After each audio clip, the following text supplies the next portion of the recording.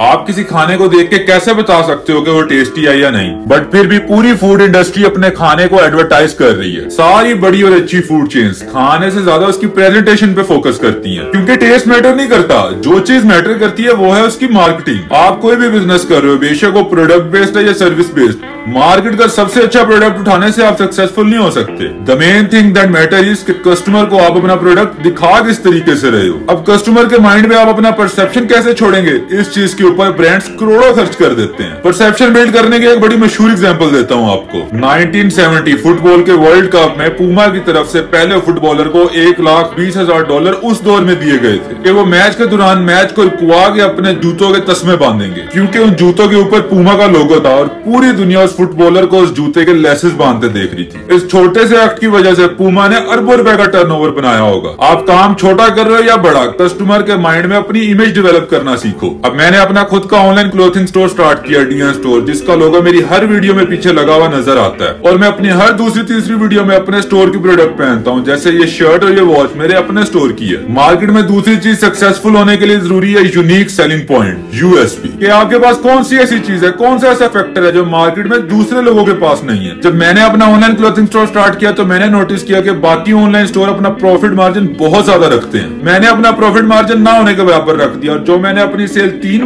महीने की फोरकास्ट की थी, वो मैंने अपने पहले दस दिन में ही कंप्लीट कर ली। आप कोई भी काम कर रहे हो, उसमें क्रिटिकल थिंकिंग बहुत ज़रूरी है। यही वो स्पेशल चीज़ है जो मार्केट में आपको बाकी सुपीरियर बनाती है।